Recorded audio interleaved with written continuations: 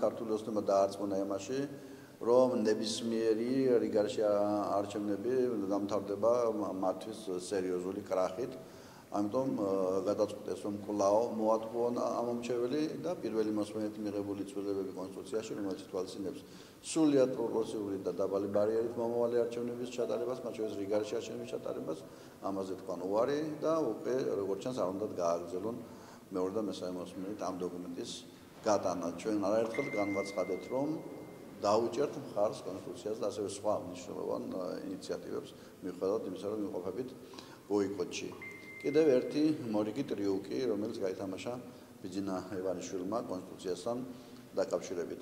ეს არის ასევე თავხედური გამოწვევა ჩვენი საერთაშორისო მეგობრების რომელთა დახმარებით არსებობს დღეს ჩვენი სახელმწიფო. ამიტომ ეს არ გაუვა ქართულ ოცნებას ასე მარტივად და ბოლოს და ბოლოს არსებობს მოთმინების ფიალა, რომელიც აივსება ჩვენს პარტნიორებს და შეიძლება საერთოდ ფინანსური დახმარების გარეშე დარჩეს ქვეყანა. რა თქმა უნდა, მათ ეშინიათ მომავალი კოალიციური გაერთიანების ეშინიათ პატარა პარტიების პირველ რიგში, ნედა პატარა პარტიების 2, 3, 4% ან 5%-ზე დაბალია, ასე ვთქვათ, ხმების რაოდენობა სიამბლეში ქმნის დიდ, ასე ვთქვათ, კოალიციურ ენერგიას, რომელიც ასამარებს ქართულ ოცნებას და ამიტომ უნდათ რომ არჩევნები ჩატარდეს 5%-იანი ბარიერით და გარიყონ სხვა პარტიების არჩევნო ელიტად. არ გაუღვათეს. კი ბატონო, მოსამართლეებზე დავსაბარი კითხვას დღეს სესიაზე ეყრება კენჭი და დიდი ალბათობით თქვენ დაამტკიცებენ. საერთაშორისო კრიტიკის ფონზე რომ კვლავ არ წყდება ეს პროცესი, რას ნიშნავს? ჩქარობს ოცნება თუ? ოჩინა ოცნება დაგწყვეტ. ოცნება ყველაფერში მოსწრებაზეა ეციანო ხელისუფლებას კარგავენ მოსწრებაზე არიან მოიყარონ ფული ბიუჯეტიდან და ხორცირებულად იღებენ სხვადასხვა ასე ვთქვათ საზიანო გადაწყვეტილებებს და ახლა დღეს ბიუჯეტი იხილება აქ კომიტეტში და 370 მილიონი იზრდება ბიუჯეტი და მხოლოდ ჯანდაცვის მართლებით ეს არის სიკუდილის ხარჯები ვინაიდან 10000 ადამიანი მოკვდა 12000 უბრალოდ ეს არის ჭიატურის ოდენა ქალაქი რომ დავკარგოთ ჩვენ ორ წელიწადში და ეს იმიტომ ხდება რომ სწორედ კორნალობისა და მასთან დაკავშირებული სხვა სხვა ხარჯებით იზრდება ეს ბიუჯეტი და ამავე დროს იფარავენ ძალიან ბევრს ისევე როგორც მოსამართლეების დანიშნა ასევე არის მოსწრებაზე რომ როგორმე არჩევნების ხელისუფლების დაკარგვის შემდეგ ყველგან ყავდეთ თავიანთი საცეცები და გააძნელდეს მომავალში სასამართლო სისტემის რეფორმა. მაგრამ დაინგრევა ეს დაწყებული ასე ვთქვათ სასამართლო სისტემის ვერტიკალიდან დამთავრებული იუსტიციის საბჭო შეიქმნება ახალი სამართლიანი და დამოუკიდებელი სასამართლო ინსტიტუტი. და და ის თავხედობა რასაც ახლა აკეთებენ როცა აღუსვენ ჩვენ საერთაშორისო პარტნიორებს არაერთი საგარეო კრიტიკისა. ეს ის მაჩვენებელია რომ მათ არ ადარდებთ ქვეყანა მათ ადარდებთ საკუთარი ჯიბი და საკუთარი თავი და ძალაუფლების შენარჩუნება ერთშვენი დღეს ნახავთ რომ ძალიან ძიმე სანქციების წინ დადგებიან. თუ ასე გააგზელეს უგულებო ყოფა იმ ჩვენი მეგობრებისა რომელთა ფულით არსებობს დავანდელი ჩვენ სახელმწიფო.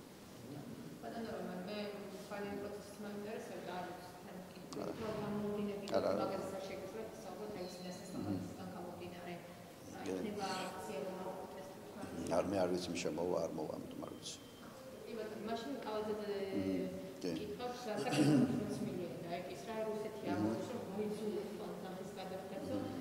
აა კალაძეს კაბა რა ინფორმაცია გაქვთ და იმას გაზრდეთ ეს სიტუაცია რომ რა რისკის საფუძველს ვინ წაართვა 80 მილიონი ევრო, ანუ დაახლოებით 300 მილიონი ლარი საქართველოს მოქალაქეებს და ვინ ამოუღო ჯიბიდან.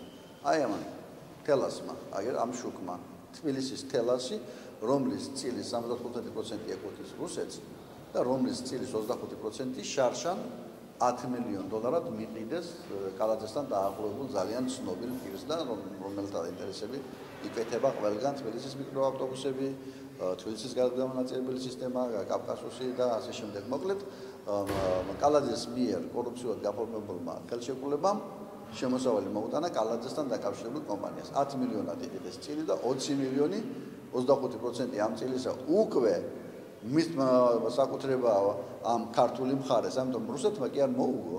არამედ მოუგო კალაძემ საკუთარ მთავრობას მისი ასე მასთან აფილიერებული კომპანია. 10 მილიონი გადაიხადა 20 მილიონი აგერ მისი წილი უკვე მის სასარგებლობაშია არა პირდაპირ რა თქმა უნდა მაგრამ აქტივები გაიზარდა ამ კომპანიის მოგება გაიზრდება და საბოლოოდ აგერ ერთ წელიწადში ამოიღებს იმას რაც რატომღაც 30 წლის განმავლობაში სახელმწიფოს საკუთრებაში იყო სახელმწიფოს კონტროლის საშუალება, აუდიტის მოწვევის საშუალება, სამსახურო საბჭოში ადამიანის ყველა სასამართლო დავების ასე ვთქვათ თვალყურის დევნა ვინაიდან თელასის 25% სახელმწიფოს იყო და მოულოდნელად გამოვიდა აუქციონზე და იყიდა ერთმა პირმა კონკურენტის კი არ ყავდა.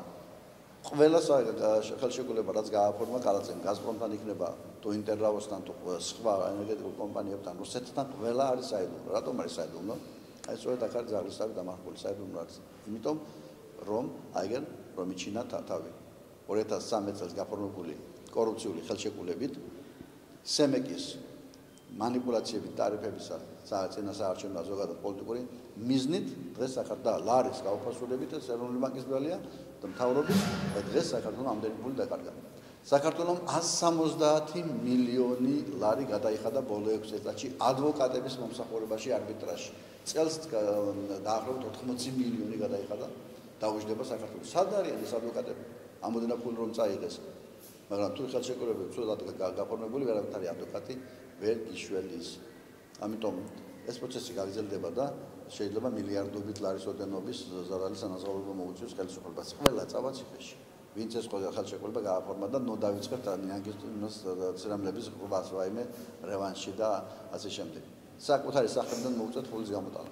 თუმცა სამწუხაროდ ქართულს მოგვიწევს ჩვენ მოგვიწევს სამთამას გადახდა და არა კალათის ხო სახელმწიფოს დაიგისა და რა უფრო პერსონაჟი. კი, სა კი, კი, სამწუხაროდ ეს ასია, მაგრამ რაღაც პოლიტიკურ და აგოს პასუხი. არა ეს საკმაოდ პოლიტიკური პასუხისმგებლობა. 70 მინისტრი შეიცვალა, მოიპარეს ფული და წავიდნენ. ასე არ არის. აი პასუხი ვაგე როგორ პოლიტიკურად ვაგე გადამდეკი ნუ რას უკაცრავად აგებ სისწლის სამართლებრივ წესით პასუხს. მადლობა. მადლობა.